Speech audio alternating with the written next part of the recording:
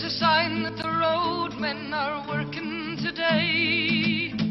Their beacons are blazing to show you the way.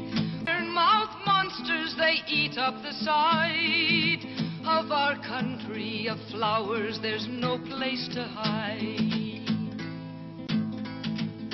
They have carved out their bypass from the solid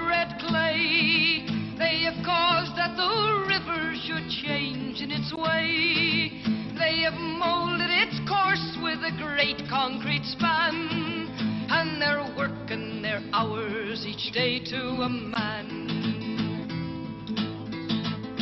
There's a sign that the town will be freed from the roar of the diesel fed engines of benzene and more. They'll forget that the town is entwined night and day arterial roadway.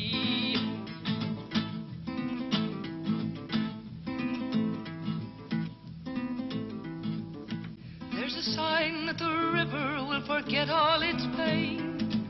That the scarred and torn fields will be silent again. That the swift rush of traffic will make it seem still. From the pounding of monsters, the crash of the drill.